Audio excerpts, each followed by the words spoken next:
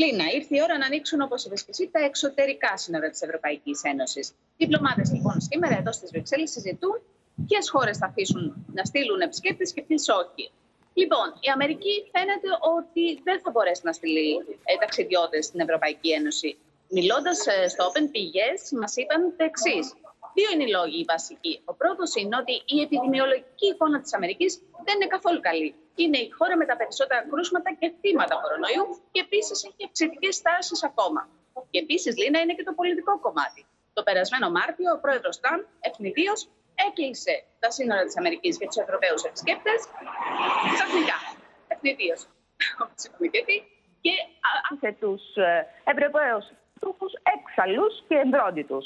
Συνεπώς, αφού ο πρόεδρος Τραμπ δεν έχει ανοίξει ακόμα τα σύνορα για τους Ευρωπαίους επισκέπτες, οι Ευρωπαίοι σκέφτονται να μην αφήσουν ούτε Αμερικανούς επισκέπτες να έρθουν στην Ελλάδα. Σύμφωνα με δημοσίευμα των New York Times, υπάρχει μια μαύρη λίστα, θα έλεγε κανείς, που δεν είναι μόνο η Αμερική. Είναι και η Βραζιλία, είναι και το Κατάρ, είναι και η Ρωσία που μας αφορά λόγω της Πάνω απ' όλα το θέμα είναι πολιτικό, όπως καταλαβαίνεις, αλλά είναι και θέμα εφαρμογής από τα κράτη-μέλη, αφού κάθε φορά οι Βρυξέλλε εκδίδουν συστάσει που μένει να εφαρμοστούν από τις Κάθε χώρα λοιπόν αποφασίζει μόνη της για το ποιους επισκέπτες θα δεχτεί.